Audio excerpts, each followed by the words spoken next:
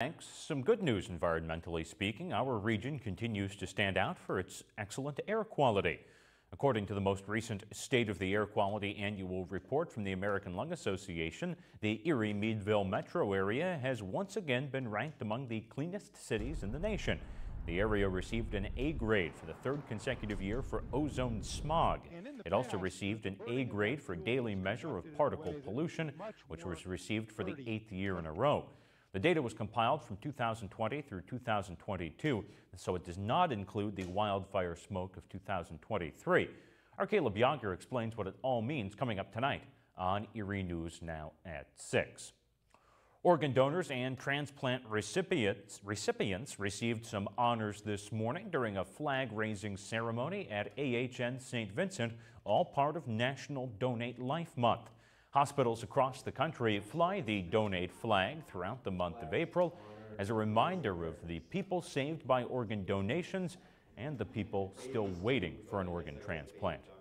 Guest speakers included an organ transplant recipient several telling their stories of survival as well as the families of organ donors offering their perspectives.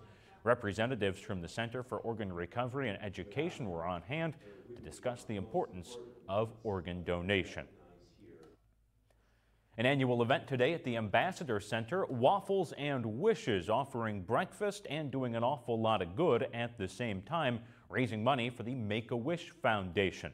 Today's program highlighting the countless wishes the program has granted over the years, and it all ended on an especially good note, making yet another wish come true.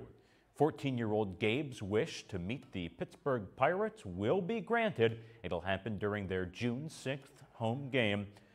His wish revealed in a video by popular pirate Andrew McCutchen, and we're told the pirate parrot was on hand to help celebrate.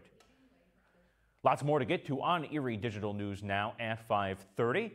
The fastest way to see everything we're talking about is our website, and the QR code right here takes you there. When we return,